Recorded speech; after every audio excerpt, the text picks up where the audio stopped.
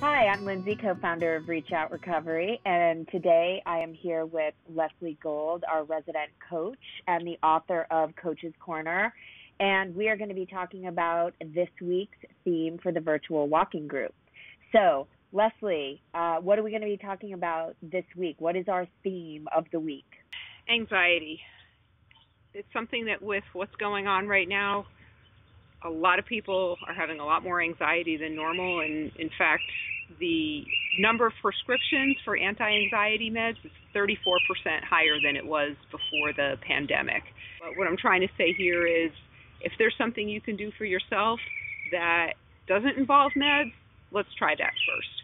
And what I'm going to talk to you about a little bit later is how to do an approach that is going to make you feel empowered as a result. I'm guessing that's going to have something to do with exercise. yes, it certainly is. Um, and the reason for that is because anxiety is more than just a feeling.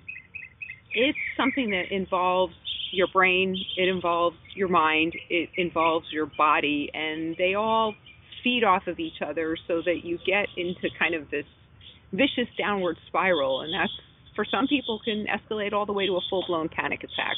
And we definitely do not want that happening.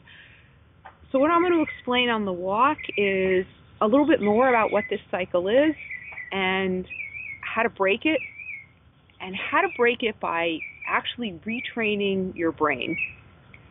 So, we can't change the situation that we're in right now, but we absolutely can change the way we respond to it. And that is what I'm going to teach you on the walk. Sounds awesome. I'm super excited.